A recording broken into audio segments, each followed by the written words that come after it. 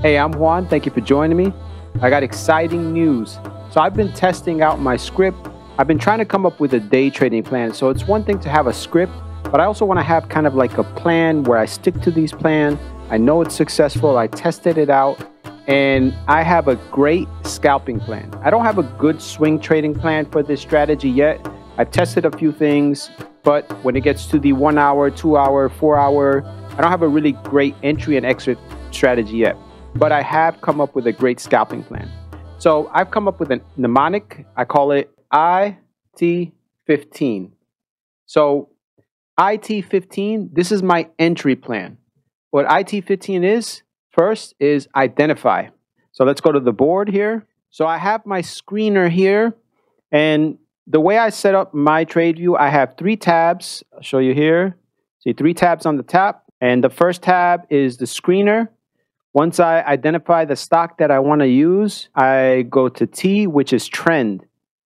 So what is the overall market? How is it trending?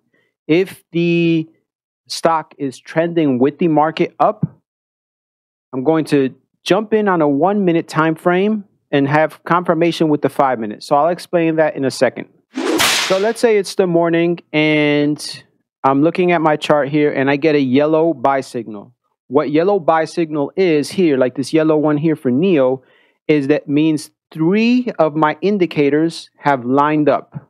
I'm looking to enter on the fourth, but it, I like I set it up so that I can get a pre-warning so I can get in on time and I can go through the trend. I can set some support and resistance before I get into the fourth one. So let's just say we're talking about Tesla. And let's say here on this candle at 836, I get a yellow to enter. So I look here, I go to my overall market. I say, okay, what is the overall market doing at 836? 836 here. I say, okay, it's above the 9 and the 20. It's not above the VWAP yet. The QQQ is above the VWAP, SPY is above its moving averages, and futures are starting to move up a little bit. So it's not a confirmed upward trend, but it's not a downward trend, and it's kind of consolidating. And that's so I would be 50 50. So what I would do is now pay attention to my one minute here and wait for entry. I would go in probably on this one. What I'm looking for is if I have confirmation of an upward trend, what I'm basically saying is I'm going to go in full amount, whatever your full amount is. If that's a thousand shares, if that's two calls, if that's three calls, whatever is considered full amount for you or full position, this right here would be partial position. So if I'm usually buying five calls, I may buy three calls or two calls on this one. So I'll buy two calls here when I get the fourth signal, it goes off here at $666. That would be the criteria for entering. Now, let's say it was on a clear uptrend like this. It's above the moving averages, it's above the VWAP, it's above the moving averages, above the VWAP. Then the only difference is I would go in full position. Now I'll buy five calls, 10 calls, or a thousand shares, whatever your full call position is, or full, full position is. So that's the only difference but it's IT15. I identify the stock first. I look at the trend. I look at the one minute and I enter on the one minute for the exit strategy. So it'll be two pathways. It'll be either be 1F exit or the R5 exit. So 1F exit is the one minute first signal exit.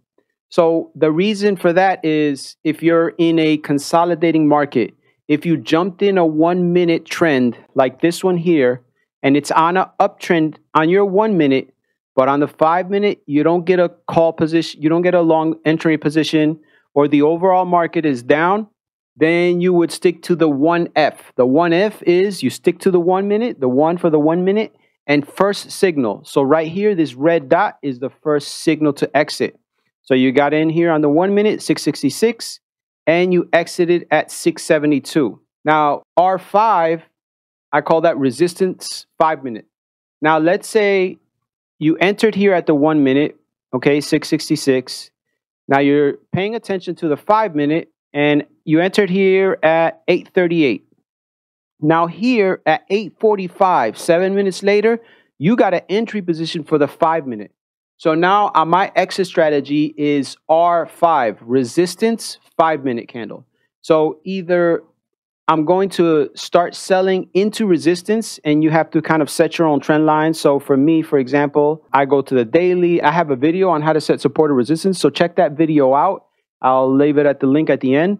Um, but I set my support or resistance. So here I got resistance here at 684. So I'm going to take some position at 684, 684, which is right here at this green line. It went past 684 all the way to 685.63, or the first five minute signal, which is here on this candle. You see this red dot here, and that would be 675. So in this case, it hit resistance here.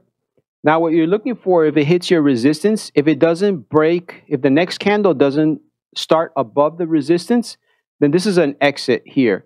So I would take a partial here at 682 and and then at that point, you can either hold if you already taken some profit. For me, if the five minute confirms, I'm probably going to increase my position or take a full position. And I'm going to sell a partial wherever I can at resistance levels. That way I can hold the rest. Now let's look at another one here. Okay, on the one minute here, we got a signal to enter at 858 at $674. So here at 858, this candle here, there's no signal to buy. You're waiting and then it turns red here. So this would be a one minute kind of thing here. You wouldn't hold on. And the first signal I got to sell is at 683. So I got in here at 674 and sold at 683, which is profit all day. So let's try another stock. A stock I like to trade is NVIDIA.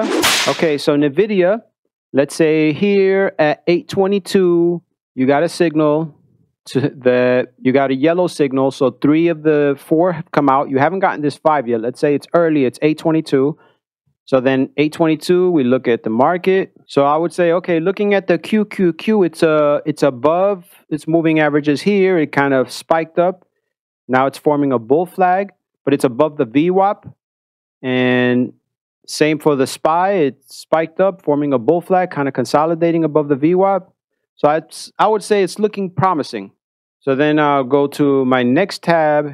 So here then, so then we set it up here.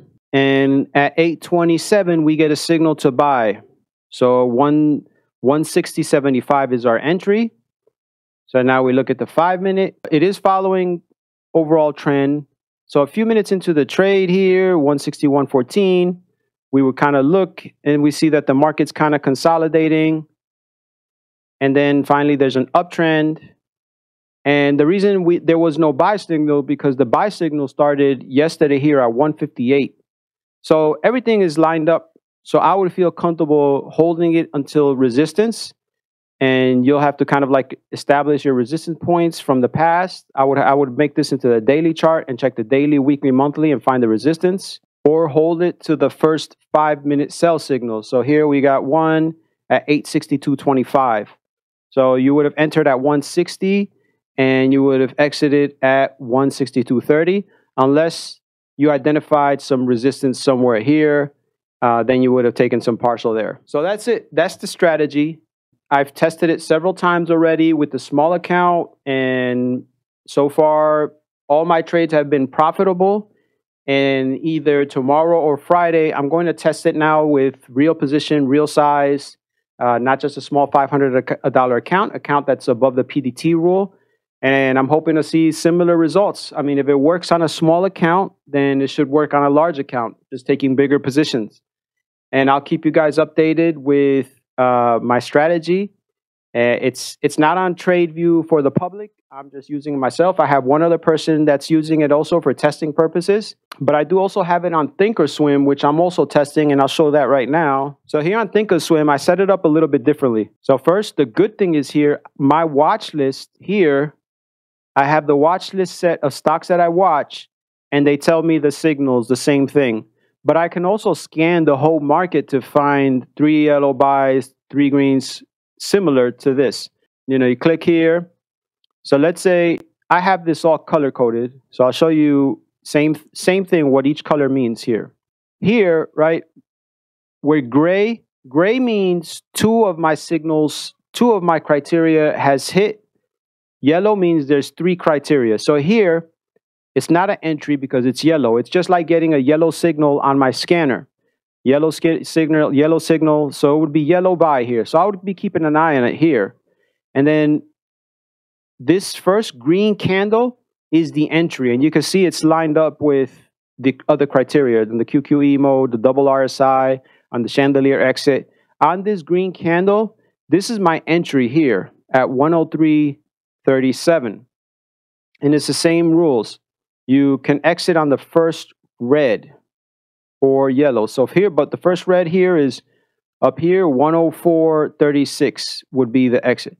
So you would enter here on the first green candle while after it consolidated and the first red signal or or gray I would exit here. So, you know, you would spike up here, 104, pull back, and here is your first exit, your 104.55. And same rules. I'm still testing it on TD uh, Ameritrade. Uh, so far, it's looking good. There are a few things I want to adjust with some of the numbers and the settings, but it is looking good so far. So I do have it on Thinkorswim and I have it on TradeView and I'm, I'm excited to start using it on real trading. So thank you for watching.